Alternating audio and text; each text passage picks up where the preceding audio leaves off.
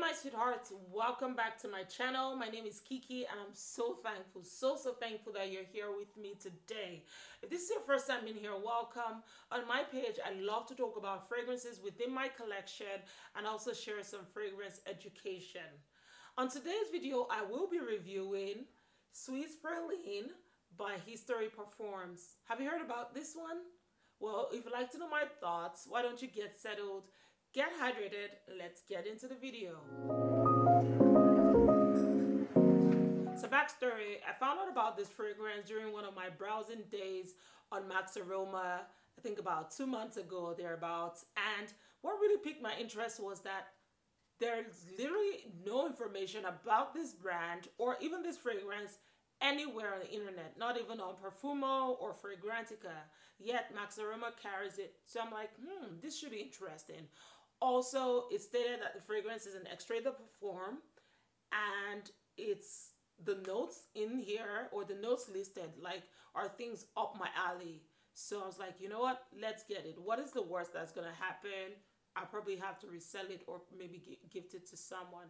So the only thing I could find out about this brand is that they seem to have launched in 2022 and they're based out of Turkey. Most of their fragrances were launched as well in 2022. Also, all their fragrances are de parfums and handmade, which I really, really love. But there is nothing else about them. There is no website.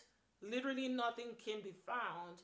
I did do some snooping and I found them on Instagram and they seem to have like their first posts sometime in 2022. So I don't know what is going on, but at least Max Aroma carries it and I'm very confident in the products that they sell. So here's the box. Um, it comes with this beautiful metallic brown and gold like design. At the front you have the name of the fragrance and the brand listed and right behind it is a backstory on a key note, in this case praline. It talks about the history of praline and how it's used in current times. And also you have the notes of the fragrance. And yeah basically the name here as well i think it's really cool. But the best part about the packaging is the box. It's made of wood y'all. I love it. It's plain. It has history printed in here. And it's magnetic. So it's like oh It's magnetic. It has magnetic um, pins in here. And you have the fragrance resting in here as well.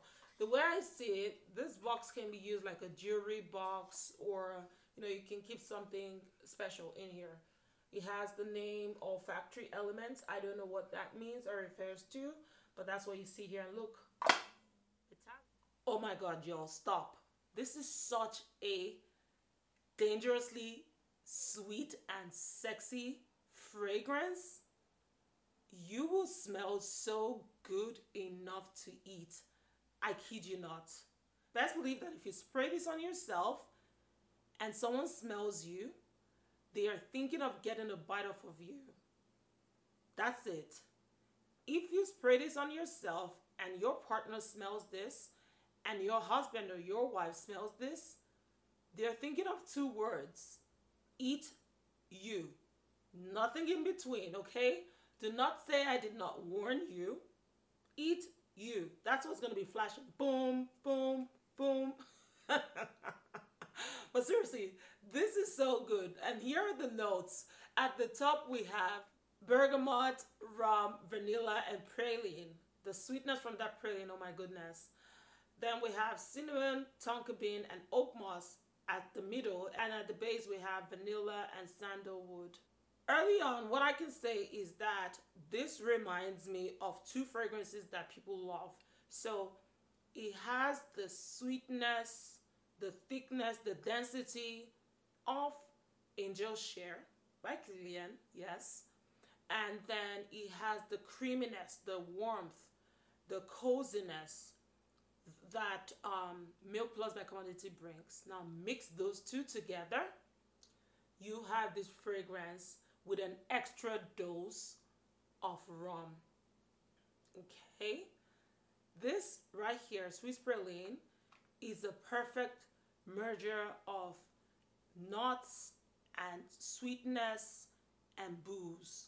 Okay, that's all you're getting here. So if you're a gourmand lover like me who loves those three elements, your cravings will be sorted with Swiss praline. It is so delicious. What I imagine this smells like is freshly baked praline, which is a dessert in New Orleans. It's like a southern dessert. Um, it's ridiculously sweet. It has like pecans um, and caramelized sugar and some butter and some milk all together. Sometimes there's a heavy dose of chocolate. Um, in this case, I can smell some chocolate in here, even though it's not listed in the notes. What this smells like is freshly baked praline with an extra drizzle of very thick caramel and melted chocolate. Now imagine you're eating this praline and then the caramel and the chocolate are dripping down your hands and the, it's just extra gooey. Now that's what whoever smells this would imagine you have. Like you're eating that and you're dripping of the chocolate and the caramel and all they're thinking of is licking that off of you and biting your hands and biting you off and just you being the rest of the dessert. That i'm sorry for that image i concocted but that's what this comes up when you wear it. It's so decadent it is such an addictive fragrance that is well executed. Like it feeds off my desire for booziness in the fragrance the the nuts in the fragrance the sweetness of the fragrance. I get all of that from this Swiss praline. So at the initial spray you get an immediate blast of the citrus note but that quickly disappears and that's from the bergamot in fact i don't know why the bergamot is here. It's like one of those people who just show their faces and they go out they're like i don't want to be in this party. Why did you add me here? I just you know came in to say hello and i'm out.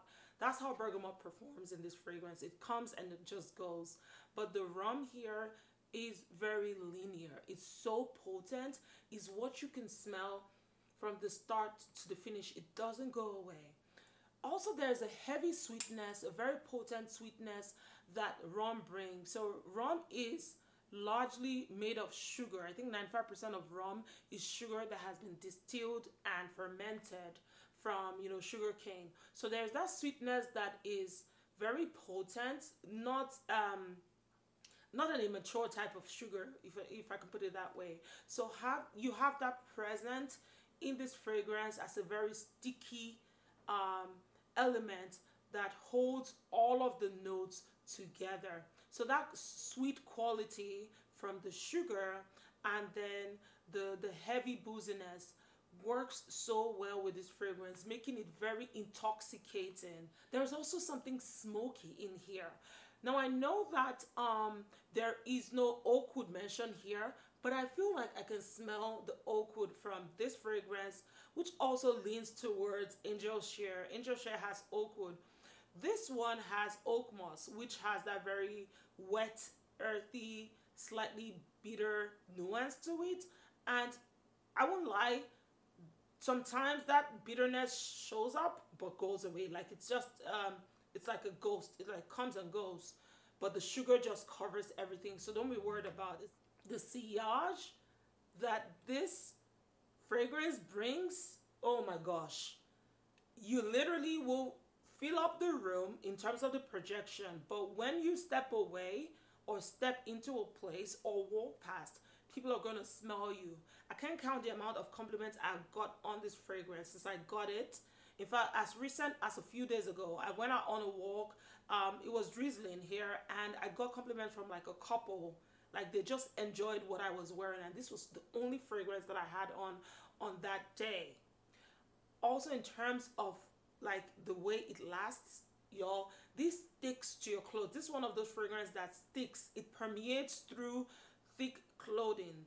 The jacket that I have that had that I wore when I got the compliments, I will not forget. Like two days after, I was getting wafts of the fragrance when I just picked it up. I could smell it. I was like, this really smells good. And I think the more it stays on your clothes, the better it performs, the better it just smells. There's something about this fragrance. It just it's a well well rounded fragrance. And you know how they say aged um, rum or aged liquor tastes better? I guess that's what's happening with this fragrance. Like the more the, the, the booziness comes out of this fragrance the more it smells well rounded it, it smells quite mature.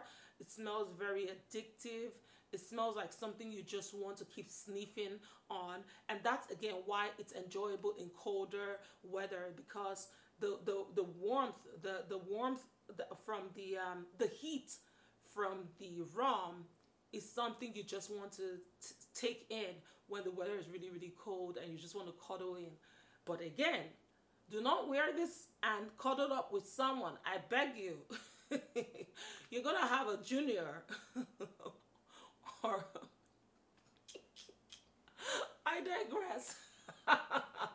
Honestly, I digress. But yeah, don't wear this when you're cuddling up. I promise you. Valentine's Day is around the corner. Don't do this to yourself. I beg you. Inflation is at an all-time high. Let's be serious. This is a fragrance that will stick to you, stick to your clothes, projects so well, and leaves a phenomenal very intoxicating, very um, endearing um, scent trail. So the more I smell this fragrance, it reminds me of another one which I truly love, and that is Oriental Enigma by Alexandre.J. This is a Harrods exclusive. Um, the difference though is that this one is a bit sparkly and bubbly and area, but this one is thicker, is more dense, it's more fluffy, it's more full-bodied, and then the praline here has that extra dose of chocolate that even though it's not called out, I can smell it here. This to me is another fragrance that is completely unisex. I do not mind a man wearing this. However, I think, you know, women would enjoy this more. If you love nut-based fragrances that are sweet, very boozy, just get your hands on sweet, sweet praline. I love it so much. It's delicious. It's very sexy. Okay, it's very addictive. It is, oh my gosh. I am adding this to my list of fragrances for Valentine's Day. It is so good, so, so good. At the time of filming this, I know that Max Aroma just had two bottles. Hopefully you can get your hands on this. It is a delight to have. It's an extrait de parfum. I promised myself this year that if I'm buying any fragrance going forward, it has to be extrait de parfum or a long lasting fragrance. I am no more spending my money on fragrances that do not perform well. It's pointless to do so. So this one did absolutely everything. I give it full marks for performance, for smell, for everything. The packaging i love that it's you know the box is wooden. That being said it's been a pleasure of mine to have brought this ridiculously gorgeous fragrance to you. Have you heard about this? Swiss praline is an amazing addition to my collection. I hope you get your hands on it. I hope you sample it or try it. And you know let's get to engage and talk about fragrances you would like for me to bring to you. I have a lot in my collection and I guess I will be doing more single fragrance reviews because to me it's much more fun to just bring my thoughts to you about each of them and just create images of how the fragrances work um, for me and what I can get from these fragrances. Thank you so much for being here with me today. Please take the time to like this video, subscribe to my channel if you haven't, share it across your platforms and you know the growth and engagement really helps me connect to other fragrance lovers across our community. Thank you so much for your time.